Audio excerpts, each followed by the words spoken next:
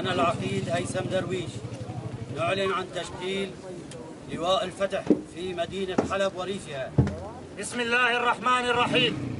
قال تعالى قاتلوهم يعذبهم الله بأيديكم ويخزيهم وينصركم عليهم ويشفي صدور قوم مؤمنين.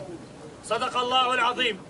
من قلب الحدث الذي تعيشه سوريا نعلن بعون الله تعالى وتوفيقه عن تشكيل لواء الفتح التابع لمدينة حلب وريفها بالتنسيق مع كافة التشكيلات العسكرية لمدينة حلب وريفها والذي يضم الكتائب التالي كتيبة المثنى بن حارس الشيباني كتيبة غرباء الشام كتيبة درع الوفاء كتيبة البراء بن مالك كتيبة أبو عبيدة بن الجراح كتيبة أحفاد عمر بن الخطاب كتيبة سيد الشهداء حمزة كتيبة عمر بن عبد العزيز كتيبة الشهيد النقيب نمر أوسو كتيبة العاديات كتيبة القعقاع بن عمرو كتيبة جوارح الشعباء كتيبة درع صلاح الدين كتيبة النصر كتيبة شهداء الشمال كتيبة فجر حلب كتيبة أبو ذر الغفاري كتيبة الشهيد محمد كعكجي كتيبة ابن الخطاب علما أن لواء الفتح يخوض عمليات بطولية الآن في حلب.